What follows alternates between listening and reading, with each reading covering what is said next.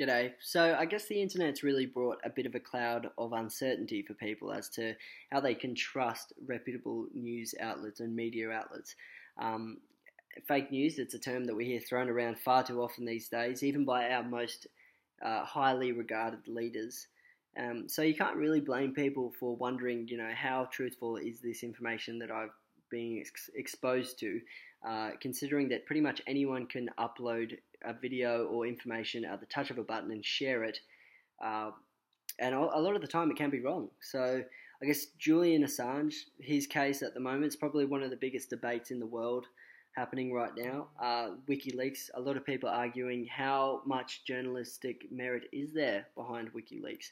Um, for me, it's certainly citizen journalism. Uh, I believe that there there is some journalistic aspects behind it, and the fact that he you know he is taking these highly classified documents and sharing them uh, to a, probably a large group of people it is relevant to. Uh, but then on the other side, you've got everyone arguing that it could be any anything, any it could be propaganda, it could be something that they've just made up and, and shared it on their page. Um, so I guess for actual reputable media outlets, it's more important than ever to be as um, unbiased, uh, truthful, and relevant uh, at the moment, so that people, you know, when stuff does happen, that people can make up their own minds as to who they want to trust uh, to source their information. So, thank you.